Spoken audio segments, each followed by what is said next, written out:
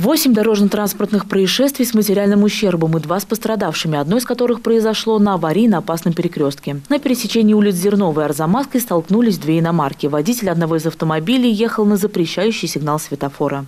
В результате ДТП водитель от машины Худай Солярис получил телесное повреждение в виде ушиба грудной клетки, а водитель Рено Сандера получил телесное повреждение в виде также ушиба грудной клетки и ушиба мягких тканей.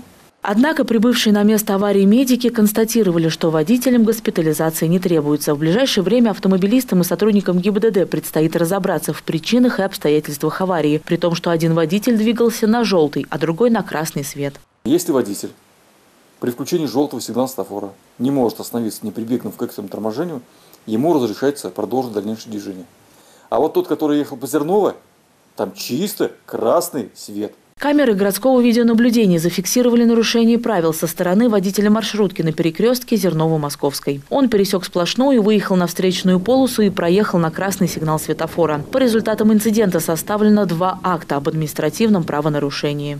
Это будет неповадно ему и всем остальным, потому как мы провели работу не только с ним, но и с собственником данной маршрут, маршрутки.